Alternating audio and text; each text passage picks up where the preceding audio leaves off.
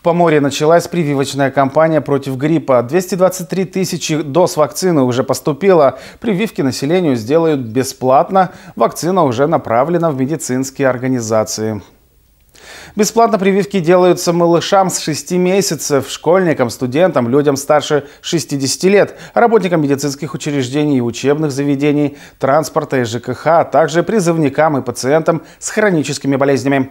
Всего в этом году в Поморье планируют привить 452 тысячи человек. Это 40% населения области, почти 100 тысяч из них дети.